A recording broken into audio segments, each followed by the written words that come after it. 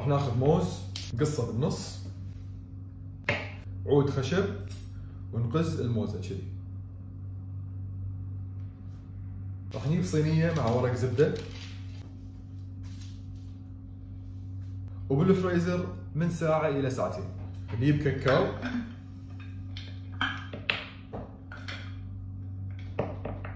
نقصصه. ونذوبه بالميكروويف.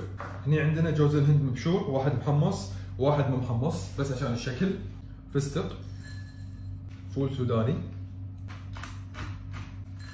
طلع لنا من الفريزر.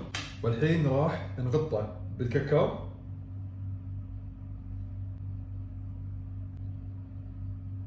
على حسب ال toppings اللي تبونهم أنا راح أحط شوية فستق. كذي شوية جوز الهند. بسرعة راح يلبس لأن لأن الموزة باردة. بسم الله.